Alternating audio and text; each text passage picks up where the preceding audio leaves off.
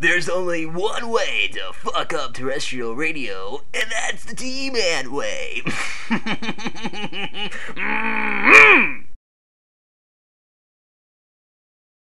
He doesn't have any money. Damn.